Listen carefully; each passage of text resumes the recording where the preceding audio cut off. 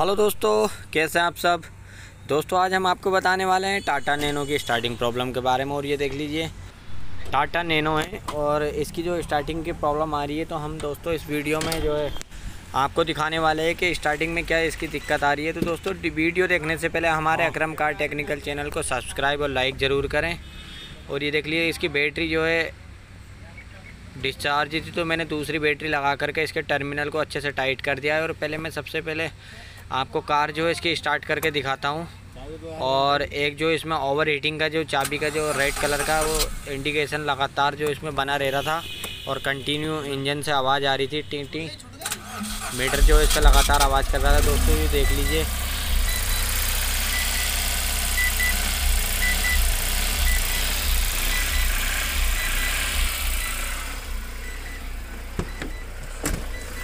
और फाइनली दोस्तों, गाड़ी की जो स्टार्टिंग अभी तो ठीक हुई है, लेकिन कभी कभी बहुत ज़्यादा लेट स्टार्टिंग जो है इसकी हो रही थी। और मैंने इसका ईसीटी e सेंसर और ईसीटी e सेंसर की पूरी वायरिंग ईसीयू से आगे तक की पूरी वायरिंग मैंने जो है इसकी चेक की, लेकिन मुझे कोई इसमें जो है प्रॉब्लम दिखाई नहीं थी। आगे से थोड़ा सा इंजन के पास से इसकी वायरिंग कटी थी। तो वो भी मैं इस वीडियो में आपको दिखाने वाला हूँ कि ये सब कैसे हमने ठीक किया है। तो ये देख लीजिए दोस्तों कितना ज़्यादा जो इसका इंडिकेशन मतलब आवाज़ कर रहा है तो मैं सबसे पहले जो इसमें स्कैनर लगाऊँगा और स्कैनर लगा करके डीटीसी फोल्ड चेक करना है। और ये देख लीजिए मैंने स्कैनर जो है मैं इसमें कनेक्ट कर रहा हूँ। और यहाँ से जो है टाटा मैंने उठा लेना है। टाटा की सारी गाड़ियाँ यहाँ से जो है मैंने उठा लेनी है तो हमने अभी खाली नैनो के ऊपर काम करना है। और ये नैनो का ही डाटा इसमें लेगा। और ये एशिया में जा कर के मैं सबसे पहले दोस्तों इसका ओल्ड मॉडल में जा कर के चेक करता हूँ, क्योंकि गाड़ी हमारी ओल्ड मॉडल है। ओल्ड मॉडल में जाने के बाद ये नैनो मैंने उठा लेनी है। और ये देख लीजिए क्या बता रहा है। Connect E C U failed please make sure E C U जो है इसका कनेक्ट नहीं हो पा रहा है। तो अब मैं एक बार जो है इग्निशन वगैरह तो सब इसका ऑन है, लेकिन ई सी यू फिर भी कनेक्ट नहीं हो रहा है। तो मैं एक काम करता हूँ, पहले बैग जाता हूँ और बैग जाने के बाद इसका न्यू मॉडल में उठाता हूँ, देखा? न्यू वर्जन दोस्तों, ये न्यू वर्जन में जो है मैंने उठा लिया है इसको। और हाँ Nano Nano Nano system selection engine author engine में जाने के बाद जो है, देखते हैं अब इश्यू क्या बोलता है इसका। और यहाँ पे भी बोल है connected issue failed please make sure ignition on तो दोस्तों, ये जो है मना कर रहा है, कह रहा है कि ई e जो है मतलब इसको जो है मतलब स्कैन नहीं कर पा रहा है हमारा सिस्टम तो अब हम एक काम करते हैं कि अब मैनुअली हम जो इसको अब चेक करते हैं। तो मैंने इसकी, दोस्तों, पूरी वायरिंग और आपका ई e सेंसर और फ्यूज़ वगैरह ए टू जेड सारे चेक करें गाड़ी में लेकिन सेम वही प्रॉब्लम आ रही थी। ये देख लीजिए किस तरह से जो है स्टार्ट होने के बाद ये लगातार व्हीलिंग कर रही है।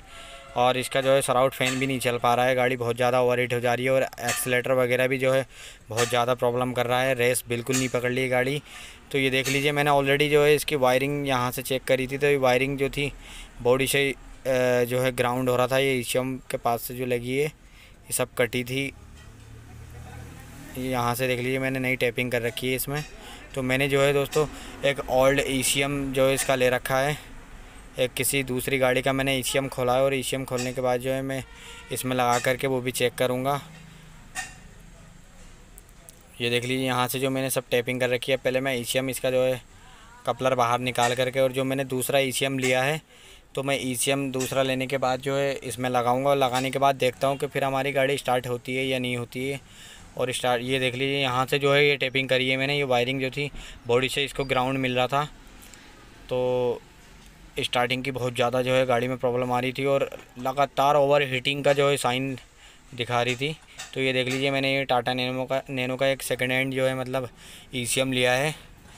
और ईसीएम लेने के बाद अब मैं इसको कनेक्ट करता हूँ, लगाता हूँ, कपलर को अच्छे से बिठाता हूँ और बिठाने के बाद देखता हूँ कि फिर आगे क्या काम करती है? गाड़ी हमारी स्टार्ट होती है, नहीं होती है लाइट जाती है, नहीं जाती है। तो ये देख लीजिए, मैंने ईसीएम जो है, इसका अच्छे से लगा दिया है। और ये देख लीजिए, बैटरी की टर्मिनल वगैरह भी अब मैं अच्छे से टाइट कर देता हूँ। और अब कार को मैं स्टार्ट करके देखता हूँ इग्निशन ऑन करता हूँ। इग्निशन ऑन करने के बाद कार स्टार्ट करूँगा। स्टार्ट करने के बाद देखता हूँ कि प्रॉब्लम ये गई या नहीं गई। और स्मूथली कार हमारी स्टार्ट हो चुकी है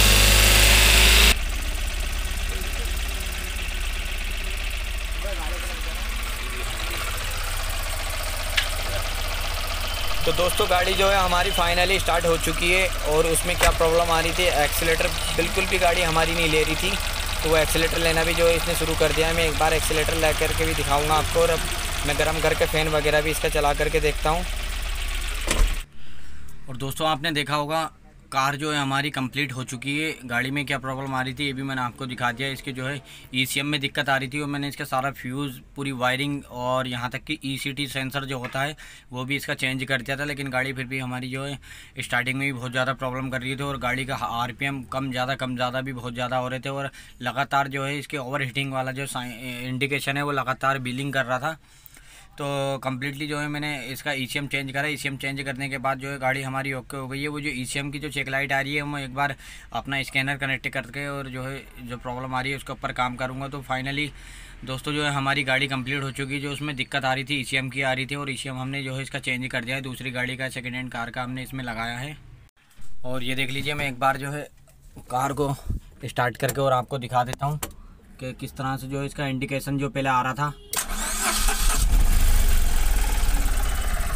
ये दोस्तों, ये तो येलो वाली जो है इंजन चेक लाइट ये जल्दी है, इसके मैं ऊपर अभी काम करूँगा, लेकिन यहाँ पर जो एक इंडिकेशन आ रहा था ओवर वाला लगातार जो बिलिंग कर रहा था, उसकी वजह से क्या हो रहा था दोस्तों, हमारा गाड़ी का जो फ़ैन भी नहीं चल रहा था तो फ़ैन ना चलने से गाड़ी और फ़ैन ना चलने से दोस्तों, गाड़ी भी हमारी जो ओवर हीट हो रही थी तो लगभग फाइनली जो है मैंने इसका ई e जो है चेंज कर दिया है, और माप ये इसका ई e मैंने चेंज करा है ई चेंज करने बाद जो है गाड़ी फ़िलहाल हमारी अब ओके हो चुकी है। अब मैं जो एक बार इसको गाड़ी का गर्म करके इसका फ़ैन चेक करूँगा। ये देख लीजिए इसका ओल्ड ई तो दोस्तों आपने देखा होगा मैंने इसका ई e जो है पूरा लगा दिया है। अब मैं वो पुराना वाला ई e खोल के वो भी लगा देता हूँ और ये वायरिंग जो यहाँ से कटी थी इसको अच्छे से मैंने टेप कर दिया है।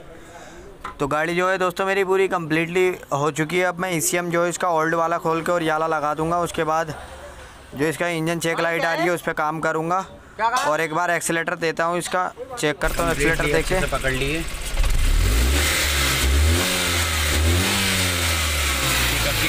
और कार जो है हमारी रेस भी अच्छे से पकड़ ली है। तो दोस्तों वीडियो अगर आपको पसंद आई हो चैनल को सब्सक्राइब करें और लाइक करना ना भूलें।